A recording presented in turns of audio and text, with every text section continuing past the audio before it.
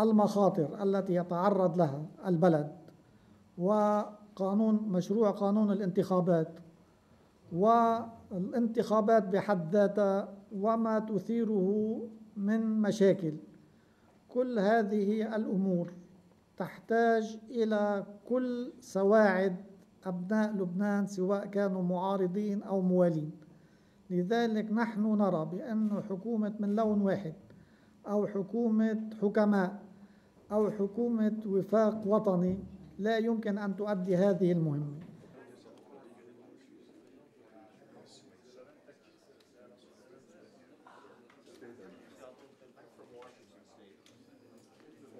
potentially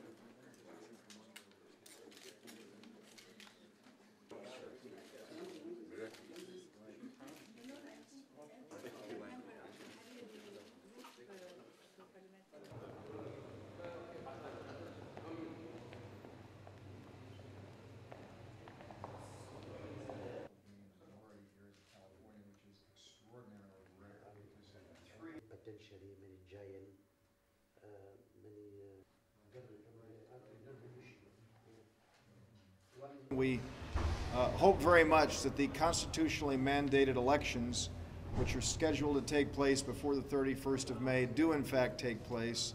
And uh, we are encouraging that, and it's clear that the uh, international community will be observing uh, this process.